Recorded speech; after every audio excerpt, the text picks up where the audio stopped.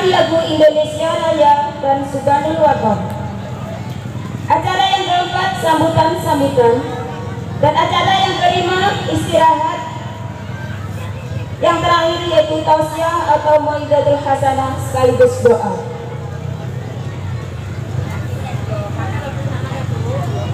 Baiklah, mari kita buka acara pada pagi hari ini dengan bacaan umul kitab. Liridha'i ta'ala wa bisyafaati Rasulullah sallallahu alaihi wasallam. Al-Fatihah.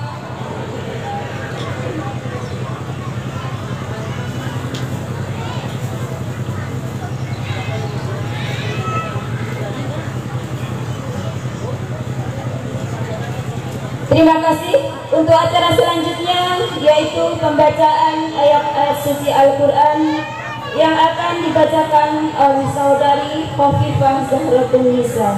Kepadanya dipersilakan.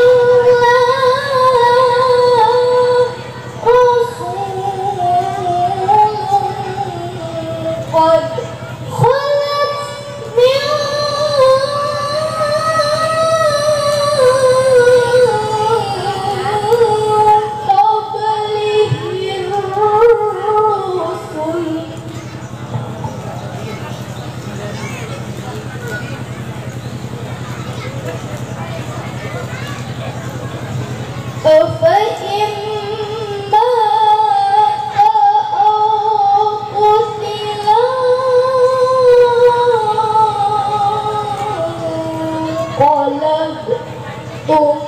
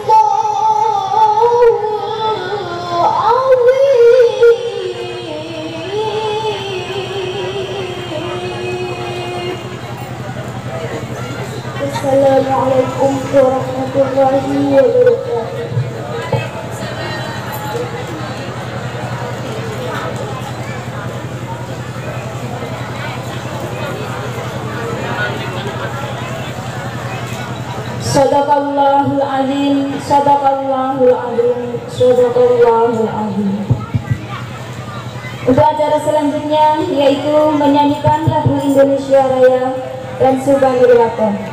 Hadirin dimohon berdiri.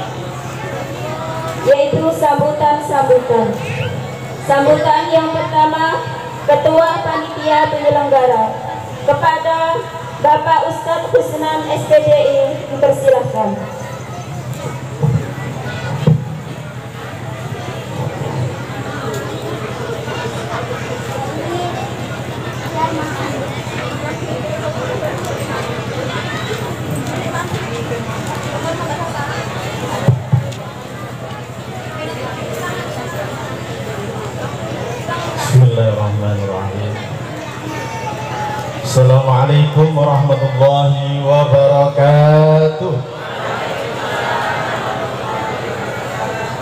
Bismillah, Alhamdulillah Wassalatu wassalamu ala rasulillah Wa ala alihi wa ashabihi wa mawala. Rabbi israh li sadri wa yassir li amri wa hlul 'uqdatam min lisani yafqahu qawli. Amma ba'd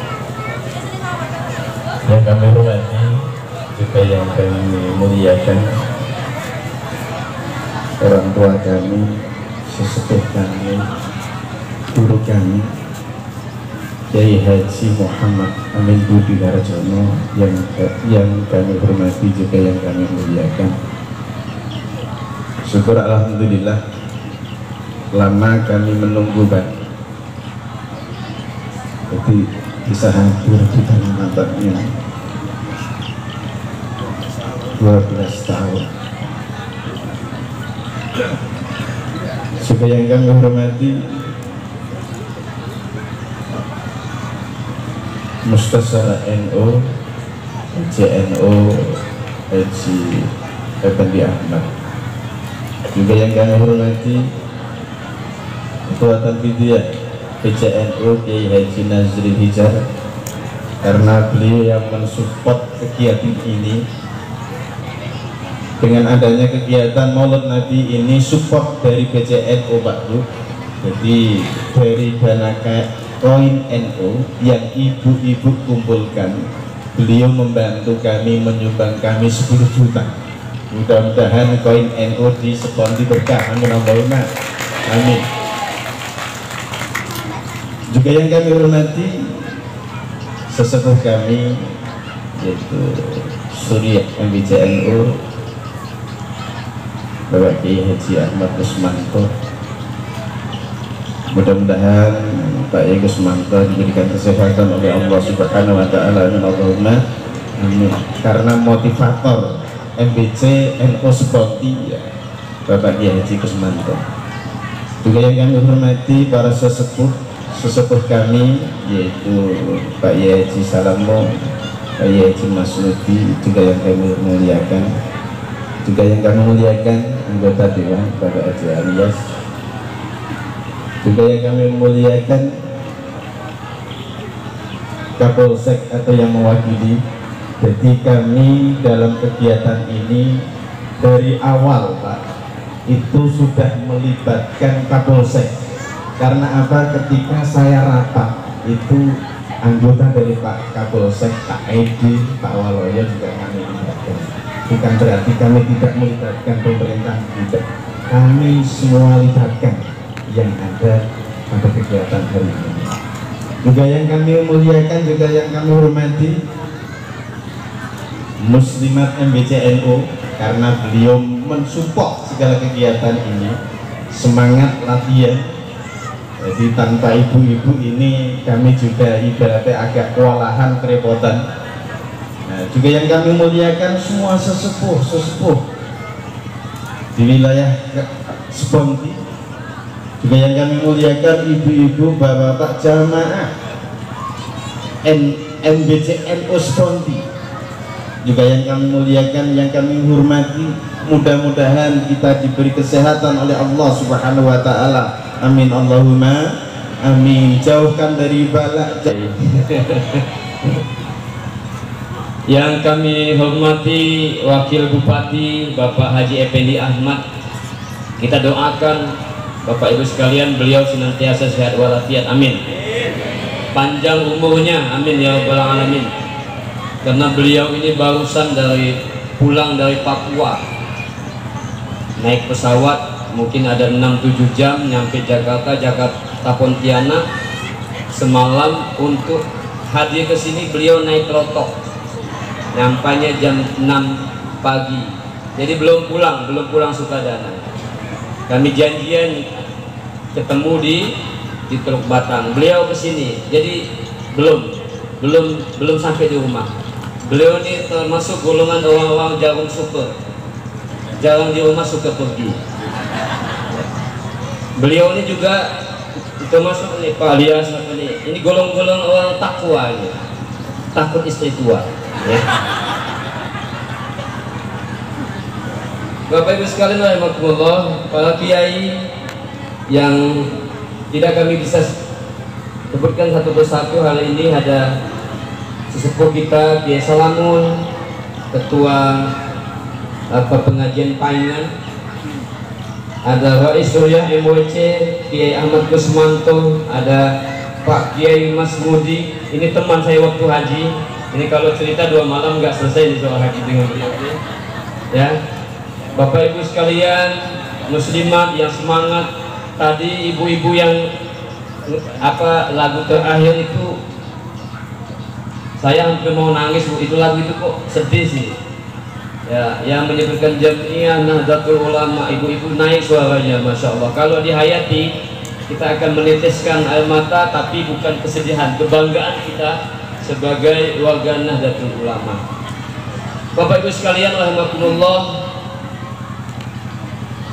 Hari ini Allah bantu kita Allah lindungi pengajian kita ini dengan cuaca yang sangat enak. Tidak hujan Masya Allah. Mudah-mudahan sampai selesai cuacanya seperti ini. Amin. Ibu-ibu enak bisa dibayangkan kalau cuacanya seperti pagi-pagi ini udah pada kepanasan. Tapi saya yakin di Seponti sudah dua tiga kali hadir seperti ini walaupun panas nggak akan ber beranjak dari tempat duduknya. Karena orang seperti itu kompak-kompak kiai. Ini salah satu kecamatan yang warga NU nya paling kompak-kompak. Tepuk tangan untuk Sponti tadi Pak Ustadz Kusnan juga udah bilang ini disponsori oleh PC PCNU nggak punya dana ada dana kuen NU saya sampaikan Bapak Ibu sekalian dari 240 juta saldo hari ini UNNU itu yang uang receh yang ibu kumpulkan itu sekarang sudah 200 jutaan itu 68 jutanya dari kecamatan Seponti tepuk tangan lagi oleh karena itu tetaplah kompak ibu-ibu. Tetaplah kompak bapak-bapak sekalian. Saya sampaikan ke pimpinan Pak. Dengan Pak Wabuk juga saya sudah ngomong. Dengan ketua PKB juga saya sudah ngomong. Masyarakat Kayung itu menjadi modal perjuangan para pemimpin. Karena kita 96% muslim kita ini Bapak Ibu sekalian 96% muslim. Bagi pemimpin bupati kah wabuk kah dia DPR kah dia yang ingin mensejahterakan masyarakat Kayung itu sama dengan mensejahterakan umat Islam. Assalamualaikum warahmatullahi wabarakatuh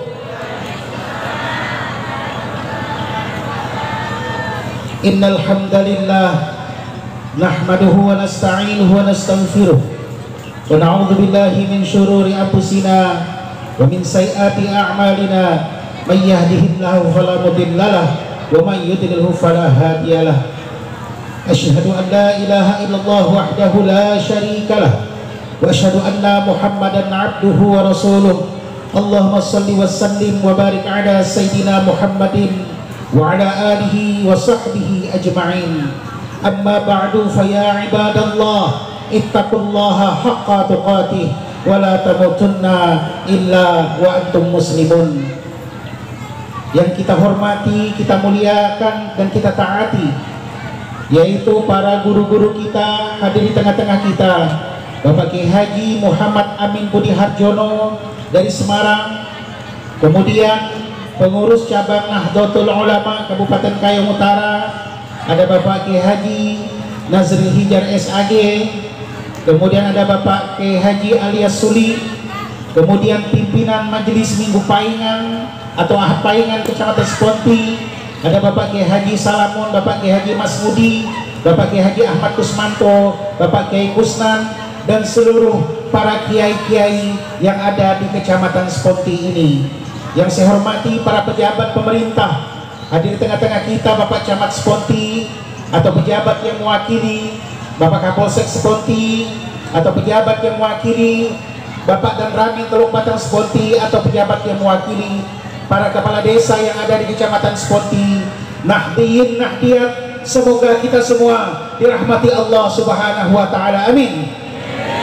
Akan masuk surganya Allah. Amin hadirin dan hadirat sekalian yang berbahagia hari kemarin jam segini saya masih berada di Papua provinsi paling ujung di negara kesatuan Republik Indonesia. Sebuah provinsi yang mayoritas non muslim tapi Alhamdulillah pada sholat Jumat kemarin saya hadir di Masjid Al-Hikmah Jayapura dan ternyata masyarakat muslimnya sangat luar biasa sekali. Kemudian para petugas Jumatnya insya Allah Nahdlatul Ulama Nahdiyin Kenapa? Karena itu bisa dibuktikan dari sang pembawa acara ketika menutup menyampaikan pengumuman hari Jumat. Coba bayangkan untuk kas Jumatnya saja satu Jumat 11 juta rupiah bayangkan di Papua mayoritas non muslim tapi karena semangat keislamannya sangat luar biasa kas Jumatnya 11 juta rupiah dan kemudian yang membahagiakan pada saat pembawa acara menutup wallahul muafiq ila aqwamit thariq bahwa menandakan sang pembawa acara adalah orang Nahdlatul Ulama. Hadirin dan hadirat sekalian yang berbahagia, kalau Papua saja yang penduduknya mayoritas non muslim yang mana kita tahu para pemimpinnya. Tapi Alhamdulillah hari ini rata-rata di kabupaten kota yang ada di provinsi Papua ketika bupati wali kotanya non muslim tapi Alhamdulillah wakil bupati dan wakil wali kotanya muslim bahkan kabupaten Kirom yang sempat saya kunjungi adalah ketua DPRD-nya adalah seorang muslim bahkan dari partai Islam. Dan bahkan orang Jawa hebat tidak? Hebat tidak? Orang Jawa jadi ketua DPRD di Papua. Ini menandakan bahwa Alhamdulillah hari ini semangat berislam kita di negara kesatuan Republik Indonesia ini menuju kebangkitan. Dan karena itu menjadi tanggung jawab kita semua bagaimana Kabupaten Kayong Utara yang dijelaskan oleh Ketua Cabang Nahdlatul Ulama tadi 96% lebih adalah muslim dan sebagian besarnya adalah orang Nahdlatul Ulama. Mari kita jadikan mari kita jadikan mari kita jadikan Kabupaten Kayong Utara ini menjadi kabupaten yang baldatun thayyibatun warabun ghafur amin semua masyarakatnya cerdas-cerdas amin. Semua masyarakatnya sejahtera amin. Dan kalau masyarakat Kabupaten Kayong Utara ini cerdas maka yang cerdas itu adalah orang Islam. Dan